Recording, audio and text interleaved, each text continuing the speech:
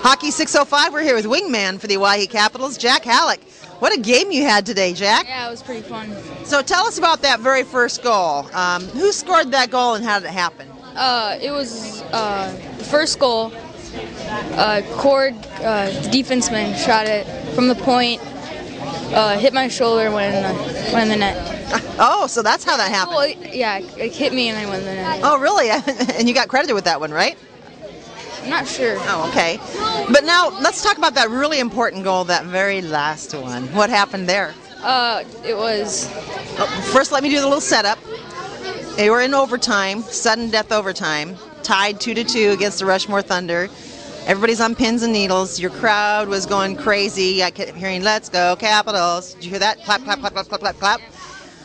Um, few minutes had passed. Over two minutes had gone by in the in the overtime period. And then what happened?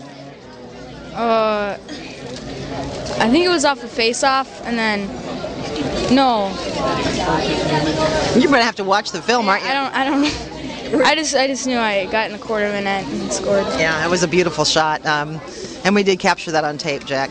So, what did that feel like for you when you scored that goal? That was awesome. Great team win. I thought your team was going to mug you; they were just all over you. Yeah. so, Jack, what, what going into that overtime period? Did you feel pressure?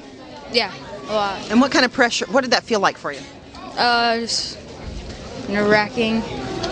You knew you knew you needed to perform, right? Mm-hmm. Do you think that that kind of pressure helps you to become a stronger person? Mm-hmm. Think it maybe helps you for the future of whatever career you choose? Yeah. And maybe you'll choose to be a professional hockey player, huh? so, Jack, how long have you been playing hockey? Uh, four years. Four years. You haven't been playing that long. What made you decide to play?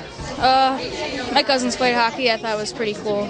And do they play in, in for the Capitals as well? Uh, yeah. Okay. And what do you like best about playing? Uh, it's just uh, uh, I don't know. I just really like it.